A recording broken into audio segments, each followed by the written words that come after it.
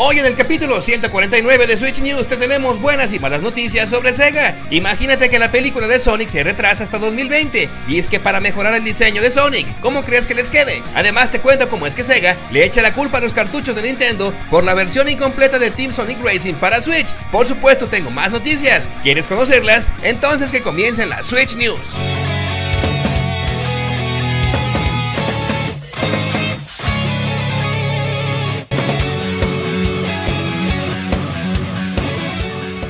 Iniciamos el capítulo recordándote que ya falta poco para hincar el diente a uno de los juegos más esperados del año, uno que promete regresarnos a las maravillosas épocas de los juegos de acción y rol en 2D que reinaron en los 90 Hablamos de Bloodstained Return of the Night, un tributo a Castlevania Symphony of the Night y a todo título que se digne de ser un Metroidvania. Hoy podemos saber que el juego recibirá una gran cantidad de contenido descargable gratuito una vez que se lance el juego, y la lista pinta muy bien, ¿eh? Pues tendremos un nuevo modo Speedrun, un modo Boss Rush, un modo cooperativo y competitivo online y offline, un modo roguelike, dos personajes adicionales, atuendos y muchas cosas más. Por cierto, también se anunció un DLC de pago donde podrás pelear contra el creador Koji Garashi para derrotarlo y así obtener una espada legendaria. Aquí en Switch News ya tenemos nuestra reserva. Dinos, ¿tú ya la tienes? Recuerda que el juego llega el próximo 25 de junio a tu Nintendo Switch. También hace unas horas se ha confirmado que Realm Royale ya está disponible para descargar en tu Nintendo Switch. Aquí nos encontramos ante un título Battle Royale centrado fuertemente en la elección de clases, las cuales modificarán enormemente el estilo de juego.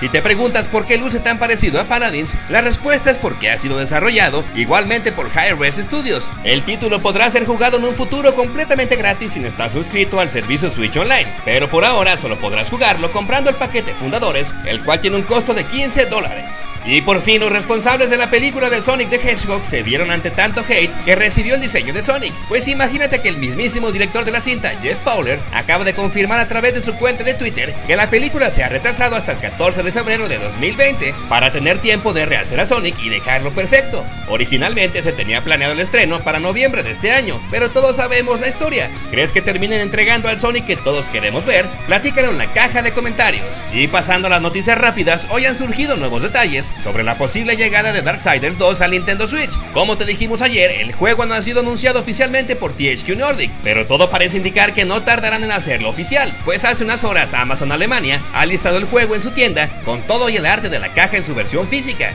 Si te interesa, debes saber que su lanzamiento se espera para el próximo 6 de agosto. Y si ya no aguantan las ganas por jugar Sword Art Online Fatal Bullet Complete Edition, déjanos decirte que Bandai Namco por fin ha confirmado que el juego se pondrá a la venta el próximo 8 de agosto en Japón el 9 de agosto en Occidente. Es importante que sepas que esta versión será la más completa de todas, pues además de incluir el juego original, también se podrán disfrutar las cuatro expansiones del título, controles por giroscopio, multiplayer local para hasta 8 jugadores y un modo Battle Royale. Oye, y en una de las notas más cortas de la historia de Switch News, te cuento que Game Freak acaba de liberar una nueva captura de su próximo juego llamado Town, ese encantador RPG que se anunció en el Direct de septiembre del año pasado. Aunque simple, la imagen nos permite ver cómo será el sistema de lucha. En fin, esperemos que el juego salga pronto. Por cierto, hablando de Sega, te cuento que el lanzamiento de Team Sonic Racing en Nintendo Switch ha sido accidentado, y no me refiero a la calidad técnico-visual, porque el juego corre muy bien en la consola, sino a la falta de contenido en su versión híbrida, pues además de que diferentes medios reportaron que en dicha versión no es posible crear grupos de amigos para disfrutar de carreras online, has de saber que en Switch no está disponible la cinemática de introducción del juego, hecho que al parecer ha terminado por enfurecer a los fans, tanto que Sega ha tenido que enviar un comunicado a través de la página US Gamer,